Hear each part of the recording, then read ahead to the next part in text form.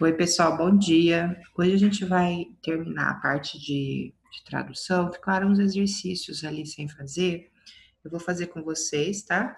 E, e aí, na sequência, a gente já vai começar a parte nova, tá? É, a página é a página 13. Se quiser pegar aí, eu vou compartilhar. Eu tenho quase certeza que eu não fiz esse exercício com vocês. Qualquer forma, vocês dão uma olhadinha aí. Se alguém fez, a gente corrige, tá? Então, é a página 13, esse exercício aqui.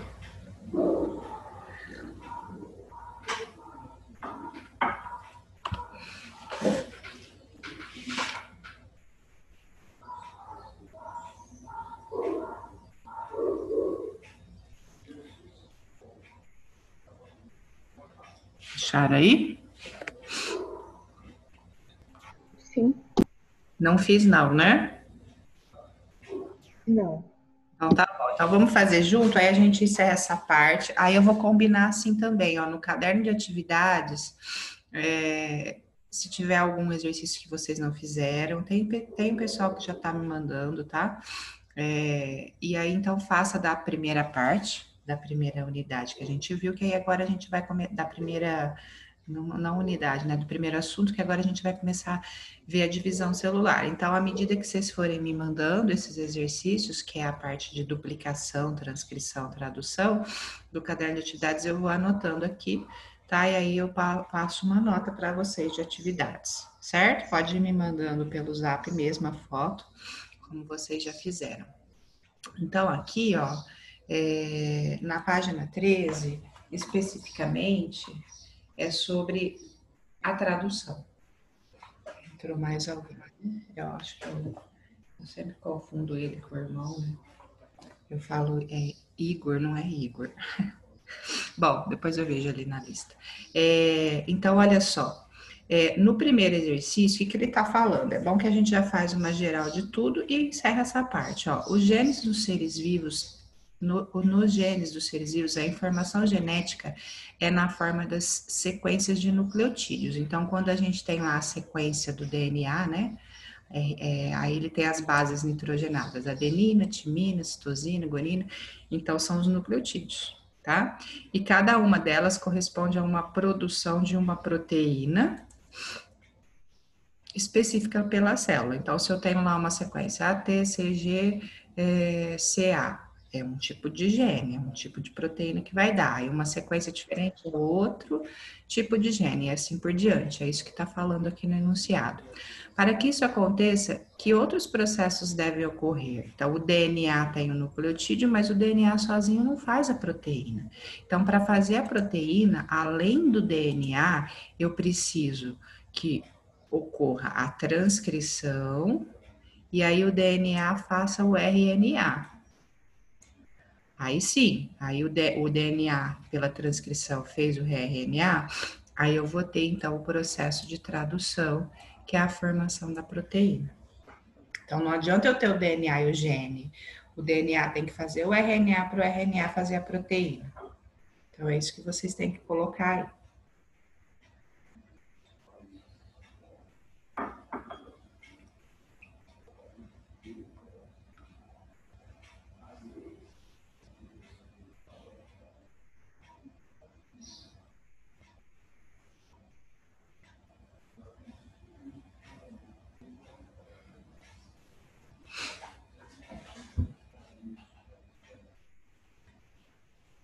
Aí aqui, ó, no 2.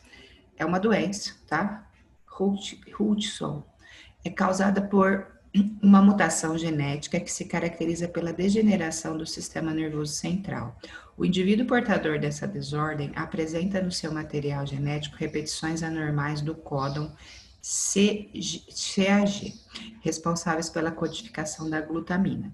Em pessoas normais, a sequência CAG é encontrada em repetições menores que 20. Então, ele tem uma alteração no DNA, né?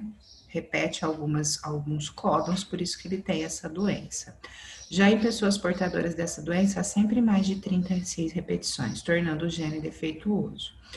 Com base nessas informações e nos seus conhecimentos sobre ação gênica, respondam.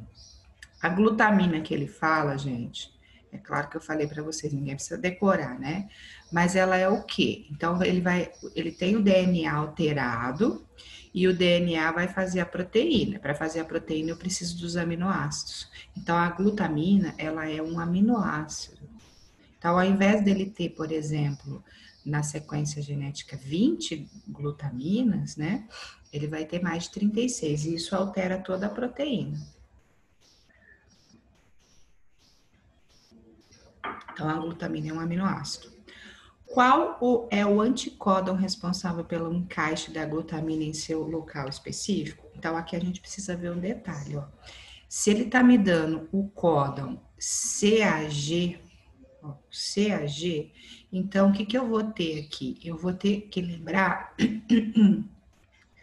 que é, eu preciso achar o anticódon. O anticódon, quando ele fala anticódon, é o RNA transportador. Aqui ele me deu o RNA mensageiro. Então, veja, se ele me deu o RNA mensageiro, pensa na sequência que eu falei para vocês, ó, RNA mensageiro e o RNA transportador se liga nele. E quem fez o RNA só para lembrar aí, é o DNA. Então, eu falei, sempre usa essa sequência. O DNA faz RNA mensageiro, o mensageiro se liga no transportador. E ao contrário também, o transportador se liga no mensageiro, o mensageiro eu posso fazer o DNA. Ele me deu um mensageiro, que é CAG. Então, ele me deu esse aqui. Aí eu tenho que fazer o códon, que é o anticódon que se liga nele. Então, seria CGAU GC. Então, esse é o RNA transportador. É o que se ligou no mensageiro. Se ele pedisse o DNA, seria GTC. Tá? Então, a partir de um, eu posso encontrar a sequência dos outros.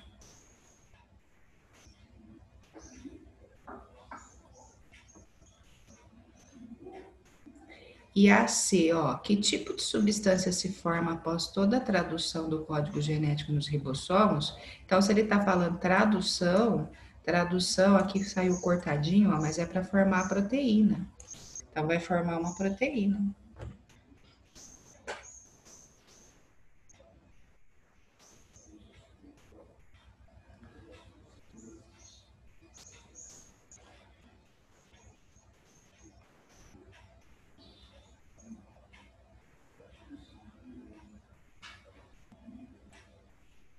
Aí o 3, ó, ele te dá é, um desenho, um modelo. O que, que esse modelo está falando? Ó, que o DNA pode fazer o DNA, aí o processo é a replicação.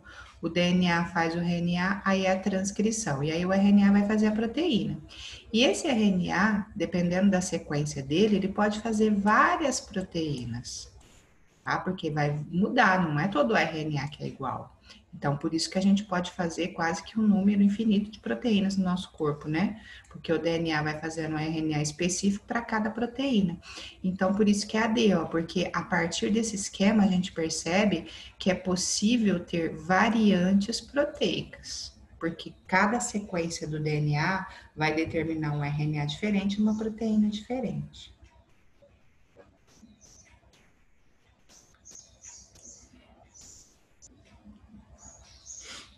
Certo? Aí aqui, ó, o 4, isso aqui eu dei na aula, um exemplo assim, não é igualzinho, né? Mas o que, que eu falei para vocês, ó, fiquem sempre ligados, ó. Quando tem essa estrutura que parece um 8 aqui, é o ribossomo. Quem se liga no ribossomo? Sempre o RNA mensageiro. É o que se liga no ribossomo, porque aí o ribossomo vai lendo códon por códon. Cada três desenho desse está representando um códon. Aí vem o anticódon, tá vendo aqui? E se liga no códon. Então, o anticódon, que a gente já fez ali agora no exercício, é o RNA transportador, que está se ligando no mensageiro para trazer os aminoácidos e formar a proteína. Então, quais são as estruturas A e B, respectivamente? A é o RNA mensageiro e B é o RNA transportador.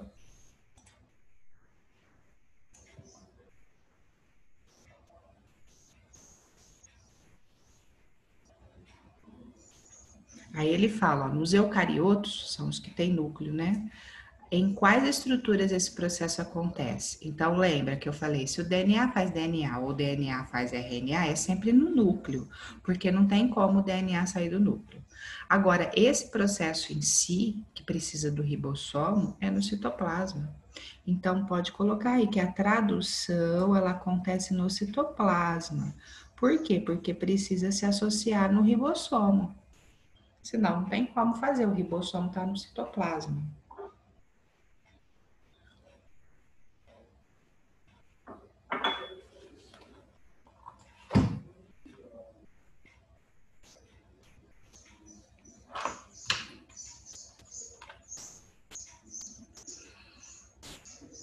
Aí o 5, ó, tem um termo que eu até nem falei na aula, tá? Esse termo aqui, ó, intron. Eu acho que eu comentei com vocês que o DNA é uma sequência muito grande. E até tem algumas sequências no DNA que não servem para fazer proteína. Meio que uma sequência sem sentido, assim. Aí ele chama intron essa parte do DNA que não serve para fazer a proteína. Tem texto que até usa o termo DNA lixo, porque é um DNA que não vai, claro, ele tem uma, várias funções aí, mas não a função de fazer a proteína, tá? Então, o que, que ele está mostrando aqui? Um DNA dupla hélice, ó, duas fitas ligadas, só que essa parte que ele destacou em vermelho é um intron, é um DNA lixo. E a gente tem umas enzimas na nossa célula que agem como uma tesourinha, ela corta esses pedaços que não servem. Então, a enzima vai lá e ela vai retirar esse intron, porque é um DNA que não codifica aminoácidos e proteínas. Então, ele quer saber, a partir desse DNA aqui, qual vai ser a sequência do RNA mensageiro. Então, aí eu tiro essa parte. Então, vai ficar, ó, primeiro códon TAC. Então, vai ficar AUG, o primeiro códon. Aí, segundo códon, CTT, GAA. O segundo códon. Aí, o terceiro códon tá aqui, ó, porque essa parte eu tiro. TTT.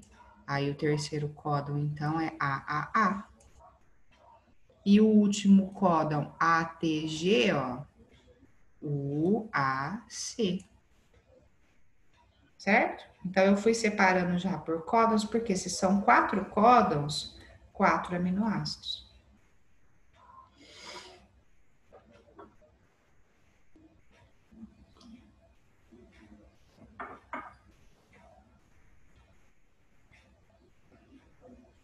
Então, ele fala, ó, o intrão foi removido. Então, eu tiro o intrão e aí, a partir do que sobrou, eu faço o códon do RNA mensageiro. E como vão ser quatro códons, quatro aminoácidos.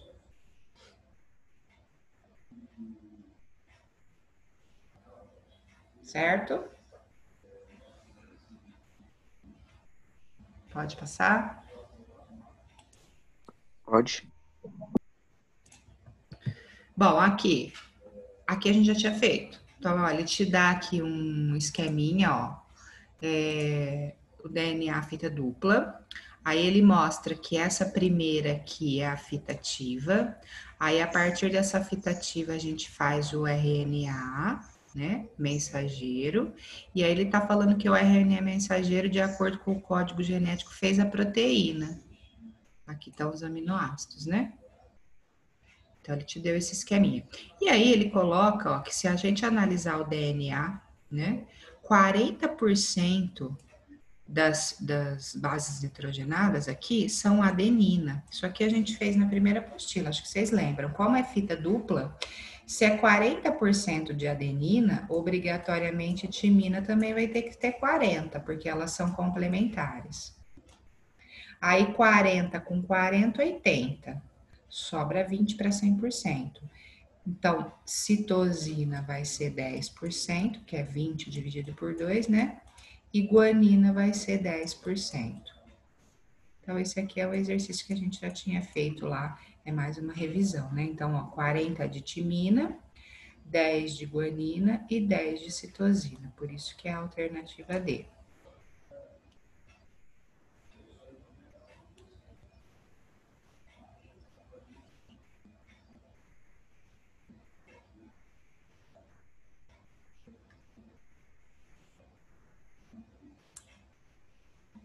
E aqui é mais interpretação também, ó, sobre a figura. Ó. A molécula de DNA é formada por duas cadeias caracterizadas por sequências de base nitrogenadas. Está falando que o DNA é fita dupla. Certo. Agora, olha essa. Na molécula de DNA podem existir diferentes tipos de complementação de bases nitrogenadas. Não são tão diferentes assim, são quatro tipos, né?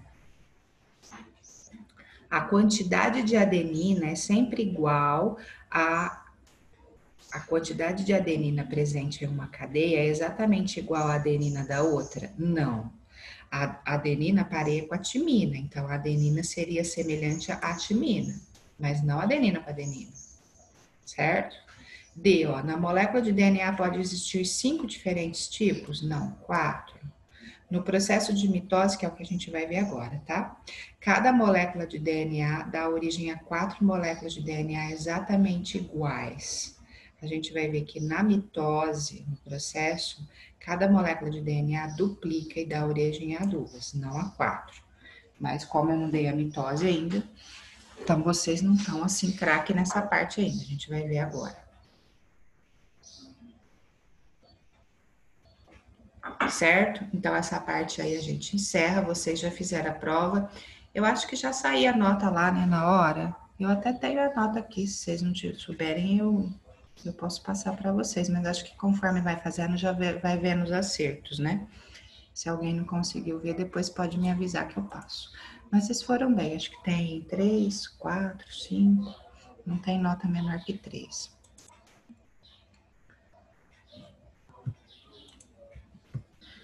Aí, ó, o caderno de atividades que eu falei, gente, tem os exercícios aí, tá? Na página 10, 11, 12, 13, da, do, acho que é o exercício 9 a 17 dessa parte aí, tá? Se alguém não fez as páginas anteriores, também pode estar tá fazendo e me mandando. O Sérgio até falou, ah, acho que eu já comentei com vocês, eu não quero que é, aceite tarefa atrasada. Só que eu sou da seguinte opinião: a gente terminou a tradução, que quem me mandar essa semana, que tiver em dia, ganha uma nota a mais. E quem fizer aí depois, até eu fechar a nota e ir me mandando, vai ganhar nota também. Então, é aquele ditado, antes pingado que secar, né? Eu prefiro que vocês façam e vai me mandando conforme vai dando, e aí depois eu vou fechando as notas, né? Do que ficar com zero, é melhor, não é? Então, vai mandando. Quem conseguir que tá em dia, já me manda porque aí é a garantia do tempo aí também de estar tá em dia, também é uma vantagem, né? Então pode ir me mandando, ok? E aqui então agora a gente vai falar da interface. Na apostila de vocês é muito comum ele trazer esse item aqui, ó, como ciclo celular, tá? Ao invés de chamar exatamente de interface, chama de ciclo celular. O que, que é isso? A interface é um preparo. A célula vai se preparar para ela se dividir. Então, o ciclo celular, ele inclui a interfase, que a gente já vai ver o que é, interfase, mais a divisão celular. Então, isso é o ciclo celular. Só que antes de dividir, a célula tem que se preparar. E aí a gente fazia um desenho bem básico assim, ó a célula. Ah, eu machuquei, eu cortei, eu tô crescendo, vai cicatrizar. Como que faz? Uma célula vai lá, se divide e forma duas. Canetinha é terrível para escrever, mas tudo bem, eu vou praticando. É, então, uma célula se divide e forma duas, era assim.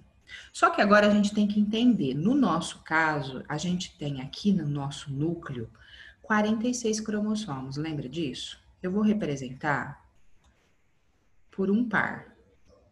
Um par de cromossomos. O que, que é a interface? A interface é esse período aqui, ó, de preparar antes de se dividir. O que, que vai ter que acontecer, então, com esses cromossomos? Esses cromossomos, eles vão ter que se duplicar. Eu vou continuar com 46, mas cada cromossomo vai ter duas cromátides.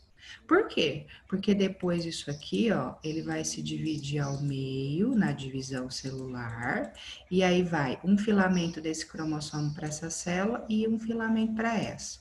E desse, um para essa e um para essa. Aí a célula se dividiu. Então, esse é o ciclo celular. A célula se prepara, duplicando o seu conteúdo, principalmente o material genético, e depois ela se divide. Essa é uma divisão, tá? A gente vai ver que tem outra, que ao invés de formar duas, formam quatro células. Então, é isso que a gente vai estudar agora, tá? Então, nesse esqueminha aqui, só para aparecer a animação, ó, tá, tá mostrando resumidamente o que é intérfase. A intérfase é o período em que o material genético se duplica. Ó. Eu tenho um par grande e um par pequeno. Está representado por verde e amarelo, né? Aí o verde vai duplicar, o amarelo vai duplicar e aqui também. Então, duplicou o material genético. Isso, resumidamente, é a intérfase. Tá? Então, ah, o que, que caracteriza ou explique o que é intérfase? Intérfase é o período em que a célula se prepara para dividir. O que, que acontece na intérfase? O material genético se duplica. Só o material genético, Ana? Não. Tudo que tem na célula vai ter que se duplicar, porque vai ter que passar ribossomo para célula nova, complexo de Golgi, retículo endoplasmático. Só que a gente enfatiza na intérfase o material genético, certo? Então, o material genético se duplica para você ter conteúdo DNA para as outras células. Por isso que fala que vai passando de geração em geração. O DNA está sempre se duplicando para formar as novas células, inclusive os óvulos e os espermatozoides, que aí vai para os descendentes. Tá certo? Então, isso é a intérfase. E a intérfase, ela é dividida em três períodos. O que, que essa figura está mostrando para a gente? Ó? Ela está mostrando o ciclo celular. A célula passa pela intérfase, ó, que é um período até longo, e depois a célula se divide. Aqui é são as etapas da divisão que a gente vai ver, tá? Então, intérfase e divisão celular. Uma célula formou duas. A intérfase, propriamente dita, ela é dividida em períodos G1, S e G2. G é do inglês, né? Porque sempre os trabalhos que são publicados, mesmo que não seja, pode ser até um brasileiro, mas vai ter que escrever em inglês. É assim que funciona, né? Vocês sabem. Então, o G vem de gap. Que, que é gap? Repouso. Não significa que a célula está parada, mas ela não está duplicando o material genético. Então, por isso que é tipo um repouso, o G1. Então, ó, vou pôr aqui para associar, repouso a célula não está duplicando o material genético. A IS, a IS já é diferente, ó. S também vem do inglês, mas vem de sínteses. Sínteses. Não sei se aqui é Y, acho que é sínteses. Esqueci. Sínteses. Que está falando que está sintetizando alguma coisa. Aí sim, então está sintetizando o DNA. Então, no período S, o DNA se duplica. Por isso que é síntese.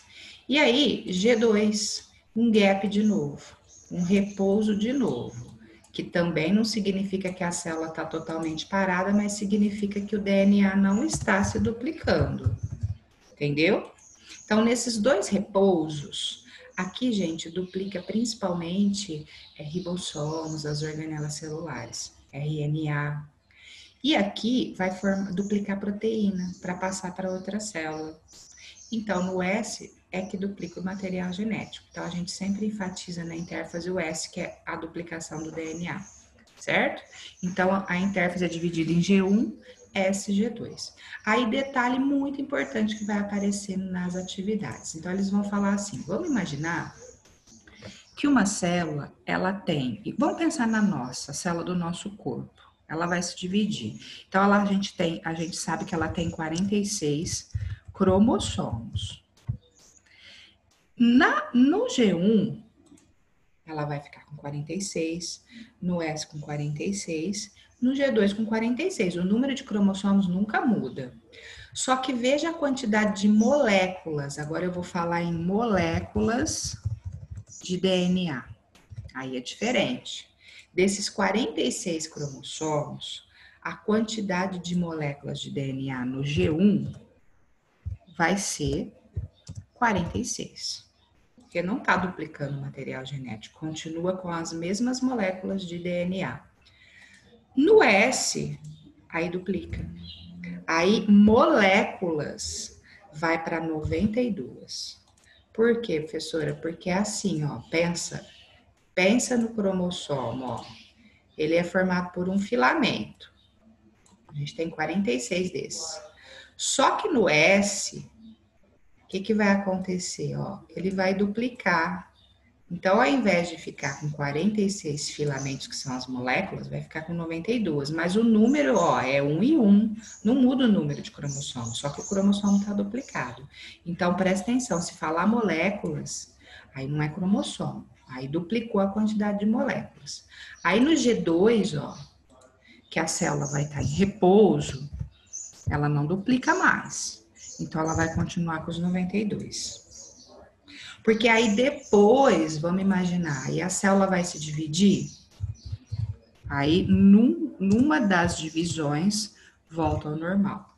Aí a divisão ela vai voltar com 46 moléculas. Tá? Eu tô falando isso porque vai aparecer exercício assim.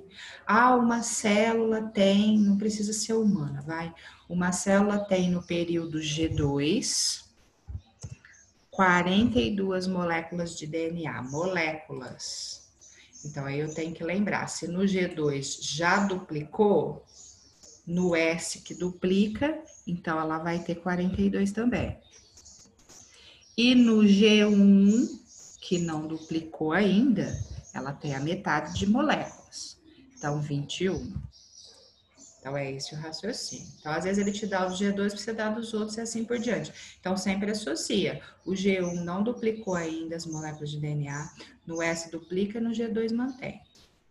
Tá? Então, são três fases que a gente tem aí na interfase, G1S, G2. E geralmente eles até mostram assim num gráfico, tá? Pode aparecer, ó, é, assim, então, uma figura para você interpretar. Aqui, ó, por enquanto, eu quero que vocês olhem essa figura até aqui só. Porque isso aqui é a divisão celular. Eu não vou conseguir dar hoje. Vamos ver, mas não hoje, tá? Então, o que, que ele está mostrando nesse gráfico? Ele está mostrando que a célula começou com uma quantidade de DNA, ó, de 2Q. Ele chamou de 2Q. Então, o período G1, ela vai manter 2Q. Só que o que, que acontece no S? No S dobra, duplica, ela vai para 4Q. Então, ó, duplicou. E no G2, mantém repouso de novo. Tá vendo que até aumenta o volume da célula aqui, mas não é porque tá duplicando material genético, é porque a célula tá duplicando outras coisas. Mas em termos de interfase, é no S que duplica. Então, às vezes, ele não vai pôr o nome aqui, ó tá? Então, ele vai chamar de um, dois, três e quatro. Os períodos de, os, uh, os intervalos de 1 a 4. Aí ele vai falar assim, ah, qual é o intervalo que corresponde ao período S da interfase? Aí você vai ter que lembrar, o S é a síntese. Síntese é quando duplica o material genético, então é quando aumenta. Então o S é entre 2 e 3. Ah, qual é o período G2? O G2 é entre 3 e 4, que é esse repouso aqui, e o G1 é entre 1 e 2, que é quando começa. Certo? Então, às vezes, a gente vai ter que interpretar isso num gráfico. Aí aqui, ó, eu só pus esse slide, que depois eu disponibilizo se vocês quiserem, tá? Os slides também, se precisar, só falar que eu ponho no grupo, quem estiver fazendo um resuminho. É, é só o conceito. Então, G1, ele é a fase que vem antes da duplicação, então precede a duplicação. O S é quando o DNA se duplica e o G2 é o que vem depois. Sucede, então, a duplicação. Então, isso caracteriza a interface. Aqui, ó, é um exercíciozinho, então. Então, ele vai falar o que, que corresponde o G1, S e G2. Então, o G1, o S e o G2 seria a interface. Então, são os períodos da interfase. O que, que caracteriza esse período? A duplicação do material genético que acontece em S. O DNA se duplica. E aí está mostrando que depois da intérprete a célula vai se dividir. Mitose é uma das divisões que a gente vai ver, então. Certo? Aqui também, ó, aqui é a divisão, mas o que, que eu quero que você olhe nessa figura por enquanto, ó? O DNA é um fio só, longo. Então, aqui estaria representando um cromossomo. O que, que acontece na duplicação? Olha, ele fica com dois, duas cromátides. Por isso que duplica a quantidade de DNA, de moléculas de DNA. Tá? Então, qual período está representando a intérfase? A intérfase está exatamente em A, que é quando ocorre a duplicação do DNA. Aí aqui já é a divisão celular, que depois eu volto nessa figura para a gente interpretar. Aqui é o gráfico, tá vendo? Então, eu vou interpretar como? Eu vou interpretar aqui, por enquanto, né? Aqui, porque uma célula que se divide, ela pode se dividir de novo. Então, aqui é a divisão. Ó. Quando caiu o material genético, ó, ele volta para a quantidade normal, é que a célula já se dividiu. Então, o 1, o 2 aumentou, o 3 manteve. Aí dividiu. Aí aqui é o 1, o 2 aumentou e o 3 dividiu. É, mesmo, é o mesmo esquema aqui. Então, o que, que é o 1? O período, o intervalo 1 aí é o G1, que é o repouso. O 2 é o S e o 3 é o G2, que aí é o outro repouso. Entendeu? Então é assim que a gente interpreta. Se ele perguntar especificamente qual é o período S, 2, porque está subindo a quantidade de DNA. E aqui, ó, você tem também o gráfico representando a intérfase e a divisão. Então, a divisão celular nós vamos ver depois. Mas veja só, na intérfase, em qualquer divisão celular, porque a gente vai ver que tem duas, e muda um pouquinho por causa da quantidade de DNA no final da divisão, que depois eu vou enfatizar isso. Mas o que, que eu quero? Ó? Que interprete a intérfase. Então, aqui eu tenho intérfase, ó, o período 2 a quantidade de DNA tá 6, 6 e 6. Aí subiu. De 2 a 6, duplicou. De 6 foi para 12, ó. Quantidade 12 de DNA, duplicou. E aqui repousou de novo. Então, mais uma vez, então, de 0 a 2 é o G1. De 2 a 6 é o S. E de 6 a 8 é o G2. Então, são as três fases. Aí depois a célula se divide, tá? Então, intérfase é o período no qual a célula vai sofrer a divisão celular. Só que antes dela sofrer a divisão celular, a intérfase propriamente dita vai duplicar o material genético, certo? Então, isso é importante para a gente seguir na divisão, tá? Então, a aula de hoje é basicamente essa parte. É, não precisa fazer exercício ainda dessa parte de intérfase. Vamos terminar juntos aí a parte da. Começar, né, a divisão celular a semana que vem. Aí, então, o que, que eu faço? Aí eu marco os exercícios. Então, por enquanto, é, vocês vão fazendo os do caderno de atividades que eu falei. Pode ser? Tudo bem, então? Alguma dúvida, alguma pergunta? Tranquilo? A gente envia no grupo ou no privado? Pode mandar no privado, eu prefiro, tá bom? Aí eu já vou, eu faço print da, da, das fotos que vocês me mandam e vou anexando, tá? Porque depois, se a escola pedir também algum relatório, eu tenho.